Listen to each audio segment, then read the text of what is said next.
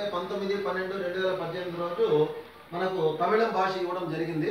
మరి మనం ఈ రోజు తమిళం భాషలో ఉన్నటువంటి మామూలుగా రోజు నేర్చుకునేటటువంటి ఐదు పదాల యొక్క ఐదు వాక్యాల యొక్క అర్థాలు ఈరోజు మనము తమిళంలో నేర్చుకోబోతున్నాం. ఇంతకుముందు నేర్చుకున్నటువంటి భాషలంతా మీకు వచ్చా? అంటే సుమారుగా మనం నేర్చుకుంటూ ఉంటాం. తమిళ భాష యొక్క ముఖ్యమైనటువంటి ఉపయోగం మనకేంటంటే మనము దక్షిణ భారతదేశానికి చెందిన వాళ్ళం కాబట్టి మనకు పక్కన ఉన్నటువంటి రాష్ట్రమే తమిళ రాష్ట్రం. అంటే తమిళనాడు. మరి ఎప్పుడైనా మనం పనిగా తమిళనాడుకి వెళ్తూ ఉంటాం. మనకు దగ్గర ఇట్లా తీసుకుంటే వేలూరు ఉంది తర్వాత గుడియాత్తం ఉంది.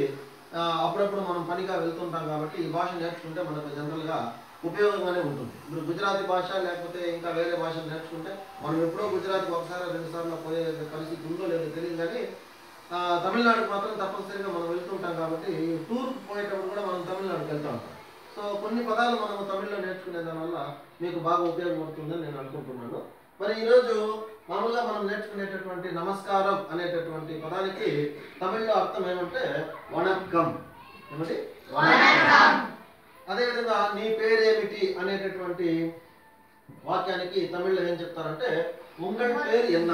ఉంగళ్ పేరు నా పేరు హిందూ. అంటే జవాబుగా ఒక అమ్మాయి హిందూ అమ్మాయి పేరు ఆ అమ్మాయి హిందూ అని చెప్తా ఉంది నా పేరు హిందూ అని చెప్పేటప్పుడు ఎన్ పేరు హిందూ. ఎన్ పేరు హిందూ.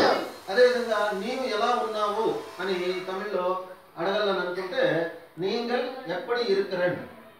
నీవు ఎలా ఉన్నావు అని అడిగేదానికి నీంగల్ ఎప్పటి ఇరుకరగల్? నీంగల్ ఎప్పటి ఇరుకరగల్? నేను బాగున్నాను అంటే నాన్ నన్రాగ ఇరుకరన్. నాన్ తమిళ్ళో మాత్రం చెప్తాను బాగా వినండి. ఎందుకంటే కొత్త పదాలు కాబట్టి ఒకటి రెండు సార్లు చెప్తే మీకు బాగా వస్తుంది.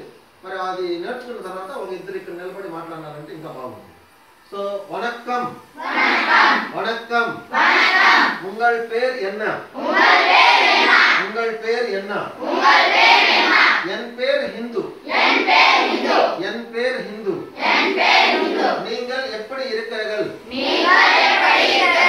நீங்கள் எப்படி Karan. Nine.